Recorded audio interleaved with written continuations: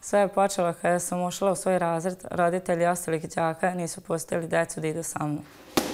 Učiteljica je stala uz mene i rekla je roditeljima kojima se ne sviđa da deca idu sa mnom u razred, da idu u druge škole.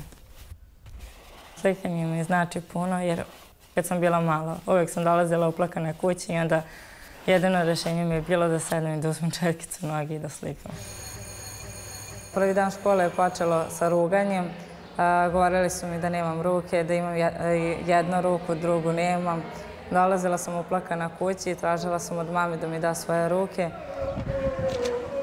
I onda je naravno mama rekla da može da bi mi dala, ali ne može i da dignem glavu gore i da idem samo napred. Posle toga sam počela da treniram tekvando, po drugi put sam državna prvakinja i vice šampijona Evrope. Treniram godinu dana kod trenera Aleksandra Andrevskog. Sa Besko imam u sebi, uglavnom imam tamo lutku, to jest bob, tako mi nazivamo. I šutam nogama dok sav svoj bes ne istresam na njega.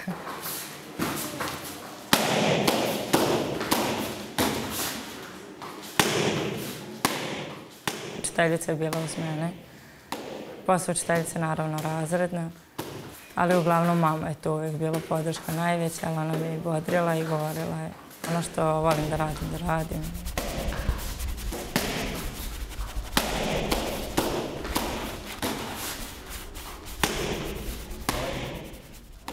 Izrasla sam u devojku koja sebe vidi sa krilima. Treba imati svoj cilj i veliku volju, a bez volje nema uspjeha, a ja sam uspjela i kao sportista i kao umetnik.